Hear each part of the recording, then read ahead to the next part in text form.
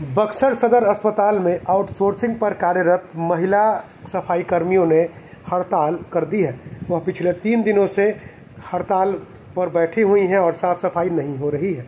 साफ़ सफ़ाई नहीं होने से जहाँ अस्पताल में गंदगी पसरी हुई है, वहीं रोगियों को भी संक्रमण का खतरा सता रहा है। सफ़ाई कर्मियों का कहना है कि वह पिछले तीन दिनों से हड़ताल पर बैठे हुए हैं लेकिन न तो सिविल सर्जन, न अस्पताल उपाधीक्षक और न ही अस्पताल प्रबंधक उनकी सुध लेने आ रहे हैं। क्या कह रहे हैं सफ़ाई कर्मी? आइए सुनते हैं। हम लोग बैठे हैं पीएफ के लिए। अब पैसा बढ़ाने के लिए, इसका ठेका खत्म हो गया है।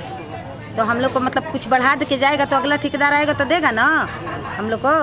इसी पे बैठे हैं, बारह तारीख से बैठे हैं, न डी न सी एस आते हैं, न डी डी डी आते हैं डी एस और न मैनेजर कोई नहीं पूछने आता है कि आप लोग क्यों बैठे हैं, किस लिए बैठे हैं हॉस्पिटल पूरा महक रहा है। गरीब आदमी है, इतने दिन से खट रहे हैं।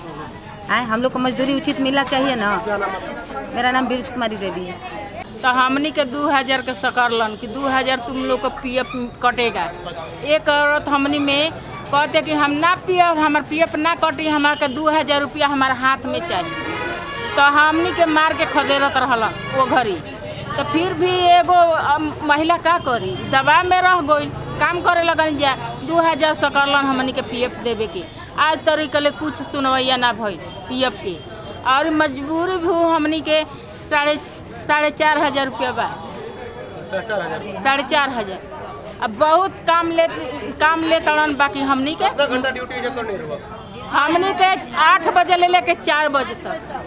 पाँच बजे तक पाँचों बजे ले चार बजे जाला हमने हमनी के कोई सुने पैसा? हाँ पैसा इतना महँगाई हो गल बना कि हमनी के पेट नहीं के भर पार्वती।